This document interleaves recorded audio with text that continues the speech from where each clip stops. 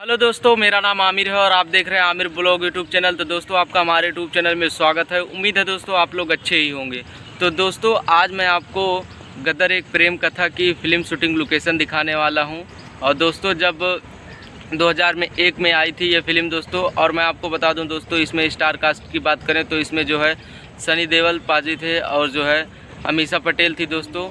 और बहुत ही superhit movie थी दोस्तों। तो आज उसी को हम दिखाएँगे कि वहाँ पर पाकिस्तान जो बनाया गया था दोस्तों, जहाँ पर हमारे सनी पाजी जाते हैं और तहलका मचा देते हैं तो दोस्तों, वही जो है, वहीं पर आज हम जाने वाले हैं और उस शूटिंग को लोकेशन को करेंगे एक्सप्लोर और आपको सीन भी मैच करवाएँगे, सब कुछ इसी वीडियो में जानकारी देंगे। तो वीडियो में लास्ट तक बने रहना वीडियो को स्किप मत करना। तो चलो वीडियो को स्टार्ट करते हैं।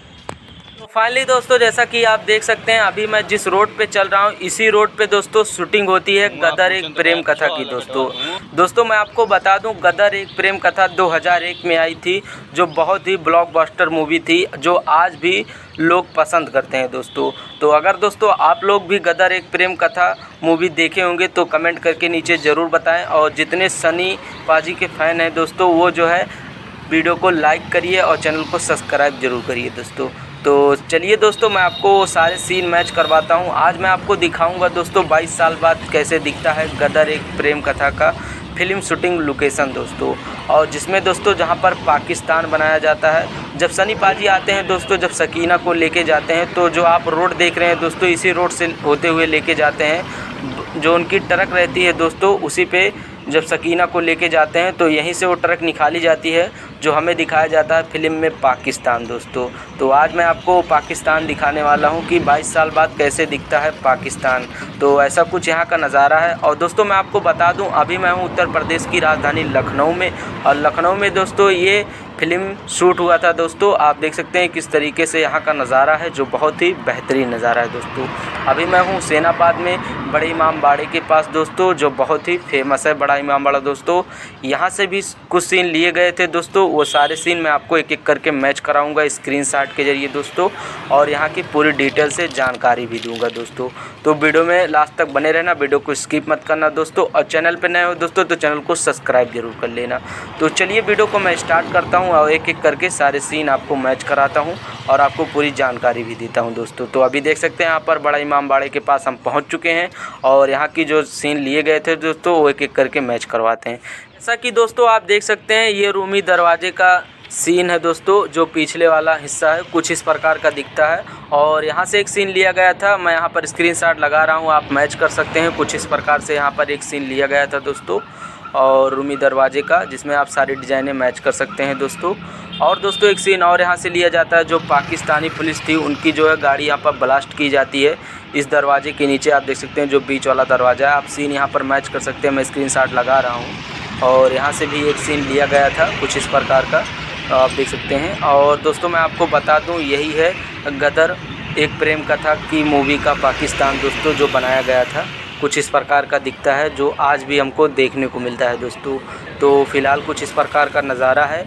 और ये सीन जो दोस्तों मैंने आपको दिखाए रूमी दरवाजे से लिए गए थे और यहीं से दोस्तों ये जो आप रोड देख रहे हैं, जहाँ से गाड़ियाँ जा रही हैं दोस्तों, इसी रोड पे दोस्तों वो निकाली जाती है, जो सकीना को लेकर, जब सनी पाजी लेकर जाते हैं, जो ट्रक रहती है दोस्तों, और ये ट्रक जो है दोस्तों यहीं से निकाली जाती है। जिसमें दोस्तों आपको इमाम बाड़े का भी सीन देखने को मिलेगा। जैसा कि आप देख सकते हैं, इमाम बाड़े का कुछ इस प्रकार का नज़ारा है, जो बहुत ही बेहतरीन नज़ारा है।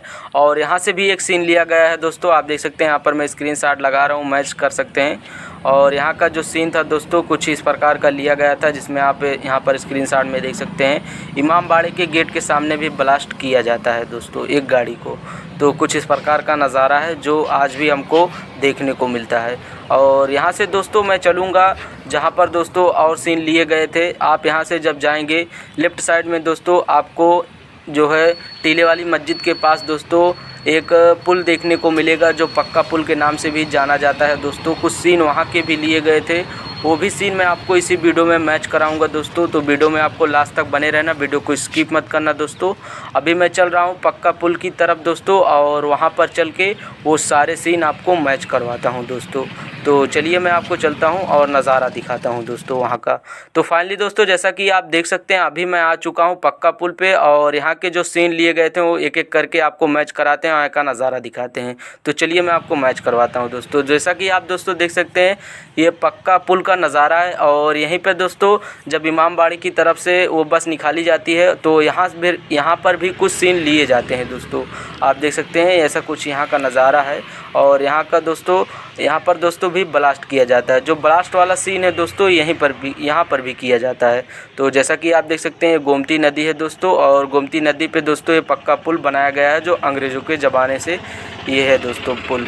तो कुछ इस प्रकार का नज़ारा है, जो अंग्रेज़ों ने बनवाया था इस पुल को दोस्तों। तो आज भी दोस्तों ये हमको देखने को मिलता है। और यहाँ से जो सीन लिए गए थे दोस्तों, मैं आपको एक एक करके मैच कराऊँगा। यहाँ से दोस्तों आप देख सकते हैं, जब एक सीन यहाँ से लिया गया था, कुछ इस प्रकार का। मैं आपको यहाँ पर स्क्रीनशॉट लगा रहा हूँ दोस्तों, आप मैच कर सकते हैं। कुछ पर, इस प्रकार का यहाँ पर भी एक सीन लिया गया था, आप देख सकते हैं, जिसमें यहाँ पर भी ब्लास्ट किया जाता है दोस्तों। और सीन दोस्तों, यहाँ से और एक सीन लिया जाता है, जिसमें दोस्तों इस पुल को दिखाया जाता है। कुछ ऊपर के एंगल से। वो सीन भी मैं आपको इसी वीडियो में दिखाऊँगा। तो आप देख सकते हैं, जैसा कि आप देख सकते हैं, ये जो आपको सीन देखने को मिल रहा है, कुछ इस प्रकार का कैमरा ऊपर एंगल से लिया जाता है दोस्तों। तो कुछ इस प्रकार का दिखता है, जिसमें आज भी आपको ये पुल देखने को मिलता है दोस्तों। तो ऐसा कुछ यहाँ का नज़ारा है, जो बहुत ही बेहतरीन नज़ारा है दोस्तों। तो फाइनली दोस्तों, आज के लिए इतना ही। अगर वीडियो अच्छी लगी हो तो वीडियो को लाइक कर देना। अगर चैनल पर नए हो तो चैनल को ज़रूर सब्सक्राइब करना और कमेंट करके बताना दोस्तों, वीडियो कैसी लगी। फिर मिलते हैं ऐसी किसी वीडियो में। तब तक के लिए जय हिंद, जय भारत।